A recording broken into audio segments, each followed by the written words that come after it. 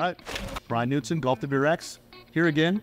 Spencer Reynolds, up, BK? Fujikura Golf. We're here in Carlsbad. We're at HQ today. We're we're in the dungeon in a way. Think of it now. the back room that not many people get to see, but right. we've got the new Axiom iron shaft, Right. and we're talking a little bit how these are created because Yeah. there's a kind of a, a couple of interesting things about these shafts. Yeah. Uh, first off, I mean, yes, they're all graphite. It's a Fujikura, of course, and of course, Core. Um, but a little different. These are a three-step parallel set of shafts. Yeah. So now most of us don't really know what that means. What in the world is that? What is that? All right. All right. Well, you touched on one part of this. Uh, so the DNA of this shaft is really VeloCore technology. That's a that's a full length sort of combination of high tonnage materials. Essentially, what they do is create a very very stable platform for us to build a bend profile off. of, Right. So we know that the guts of this product are very very stable, very very uh, consistent. And these are things that we learned by integrating that technology in the wood line, and now we sort of brought it over to iron. So it is created in very much the same way that a wood shaft be created, right? Everything starts out with, with sheets and, and ply layouts and mandrels and all those things, but everything is kind of tweaked a little bit differently for irons. So the different type of build. So while sort of the nuts and bolts are the same, what's different is we start to look at things like three-part parallel systems. Yep. Uh, we have extremely accelerated taper in, the design. You know, I brought out a couple of mandrels just for you to see. I mean, this is what you would traditionally see for a wood shaft, right? And this is when we start to wrap the graphite plies, and eventually this is pulled out. You're left with a hollow tube.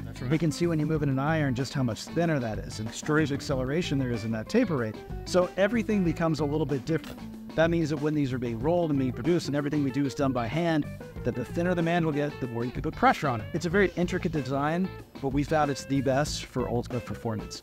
Now, we talk about the parallel system. Traditionally, when you look at some of the shafts that we've even produced in the past, you're talking about a two iron leg. That two iron leg is a single piece, and you're going to butt trim and tip trim as you get shorter into the set. The only issue with that is you're starting to lose a lot of material as we get to the shorter irons. So we have to have a material that is strong enough and performance driven enough that works really well on the long irons, but we have to know that the short irons have to work without it as well. So when we go into a three-part parallel system, what that does is it gives us the ability to tip minimal amounts within each set. So a long parallel is really just built for the two, three, four iron. The mid is five, six, and seven. The short is eight, nine, and wedge and they'll be tipped minimal amounts in each set. As you get to about a one inch tip with the shortest of each section, you start over straight in, half inch, one inch straight in. And what that does is gives us the ability to really push premium materials closer to the tip of the shaft. And that gives us even more stability and consistency because we know we're not even lose too much now material. Yeah, and then you did mention everything hand rolled. So Yeah. I think a lot of misconception about shafts as well is, you know, if they're not, you know, specifically told that they're just put on a machine and everything's done.